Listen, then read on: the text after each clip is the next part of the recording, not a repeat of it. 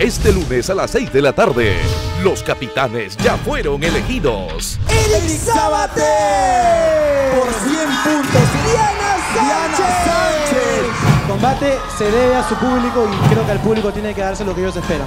¿Qué sorpresas nos traerá Cupido esta temporada?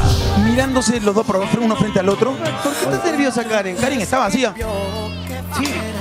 Más competencias y mucha diversión.